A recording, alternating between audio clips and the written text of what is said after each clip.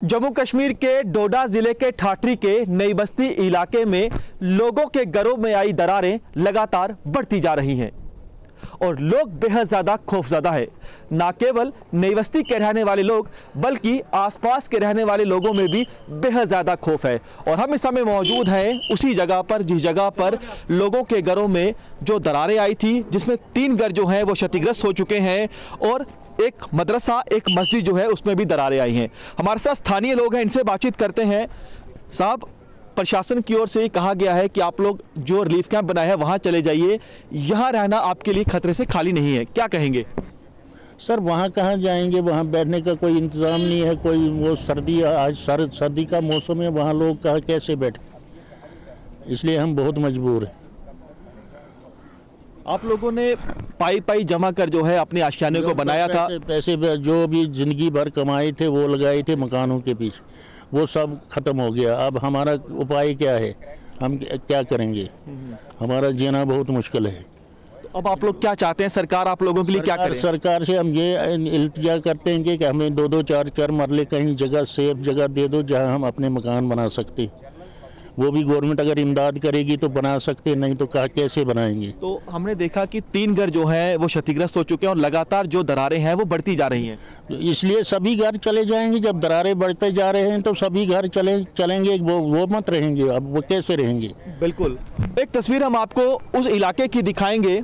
ये जो इलाका आप देख रहे हैं ये चिनाब वैली का एरिया है। और ये जो नई बस्ती है, ये चिनाब दरिया के तट पर बसा हुआ गाँव है। आप देखिए कि यही वो तस्वीरें हमने जोशीमठ में देखी थी कि कैसे लोगों को अपने घरों में से बेघर होना पड़ा था।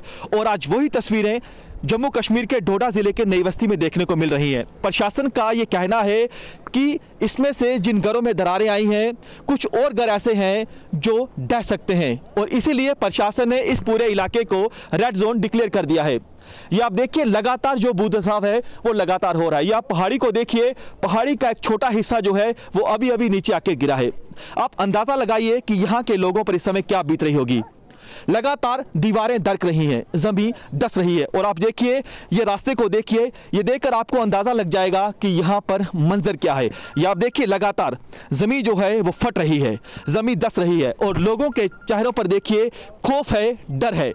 लगातार ये लोग जो हैं, ये सरकार से ये मांग कर रहे हैं कि इन्हें सरकार कुछ मरले की जगह दे वहाँ पर इनके आशियाने इनको बनाकर दे क्योंकि इनकी आँखों के सामने इनके आशियाने छिन रहे हैं। आइए एक और साहब से बातचीत करते हैं। साहब क्या कहना चाहेंगे? एक प्राकृतिक आपदा आई है क्या कहेंगे उसको लेकर? क्यों आपके घर है यहाँ पे? हाँ हाँ। क्या बोला सरकार ने आपको? कुछ नहीं अभी तक। क्या कहना चाहते हैं आप इस सारे मामले को लेकर? हम यही कहना चाहते हैं एलजी इंतज़ामिया से और एडमिनिस्ट्रेशन से डीसी डोडा जो हमारे हैं उनसे हमारी इल्तिजा है कि जिनके यहाँ पे ये मिसमार ये मकान हो गए हैं अगर उनके लिए कहीं सात सात आठ आठ मरले कहीं जगह गवर्नमेंट की तरफ़ से उनको मिल जाए ताकि वो कहीं अपने आशियाना जो हैं वो बनाएँ। यहाँ कितना ज़्यादा खतरा भी है? यहाँ पे तो खतरा बहुत है। बहुत ज़्यादा खतरा है क्योंकि ये बढ़ ही रहा है इधर बस्ती की तरफ़ ये बढ़ रहा है इसका ज़ोर कर रहा है इधर नई ये बाकी जो मकान बचे हुए हैं उनकी तरफ़ ये ज़्यादा ज़ोर कर रहा है। तो आप लोग जो हम देख रहे हैं कि अभी भी कुछ ऐसे लोग हैं जो नहीं निकल रहे अपने घरों से। जनाब निकलेंगे यहाँ पे फ़िलहाल अभी आठ दस घर हैं जो उनकी हालत है जो उनकी हालत है जो गवर्नमेंट उनके साथ कर रही है। तो यहाँ पे तो अभी तकरीबन तकरीबन अस्सी घर हैं। ये कहाँ जाएँगे? इससे बेहतर है, अगर गवर्नमेंट करेगी, कुछ तो निकलेंगे, अगर नहीं करेगी तो मरेंगे, इधर इधर मरेंगे, कोई बात नहीं है। आप सुन सकते हैं लोगों को, इनका ये कहना है कि हम लोग कहाँ जाएँ? सरकार इनके लिए कोई व्यवस्था करे, क्योंकि ये वो लोग हैं जिन्होंने पाई पाई जमा की थी, अपने आशियाने को बनाया था, अपने सपनों के घर को बनाया था, लेकिन इनकी आँखों के सामने इनके आशियाने टूटने लगे हैं। कैमरामैन पवन के साथ पंकज शर्मा, न्यूज़ 24 डोडा ठाठी नमस्कार, मैं हूँ मानक गुप्ता।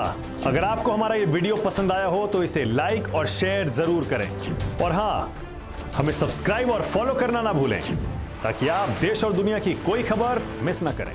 तो जुड़े रहिए हमारे साथ और देखते रहिए न्यूज़ 24